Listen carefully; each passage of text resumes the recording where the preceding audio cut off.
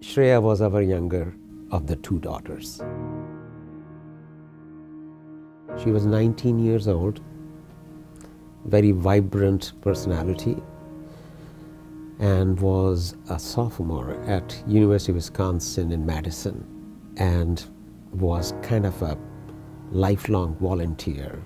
She was coming home for the weekend the very first time after the school started. Up until that morning, she was coming by Greyhound. But then she called in the morning and said that, you know, I got a ride. She started at 6.30 in the evening. Three hours later, we had a phone call. Shreya was the passenger in the front seat.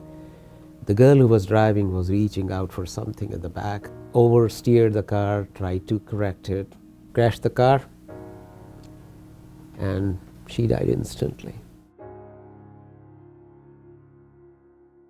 The penalty was kind of very minimal. I would rather have her go to some kind of uh, workshop as the punishment rather than um, give her such a minimal amount of fine and then expect her to change her behavior.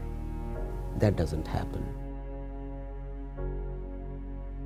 What we are trying to do is modify the behavior of the driver. Parents, you parents, when your child gets a driver's license, don't wash off your hands of that driver because that is when your responsibility starts. Because now, this person, whether it's a boy or a girl, is going to be carrying that 3,000 plus pound cannon in his or her two hands. Make sure that you provide all sort of mentoring coaching, and rule making. You, as a parent, mom and dad, are the only ones who can determine that and implement it. Your child's life depends on you.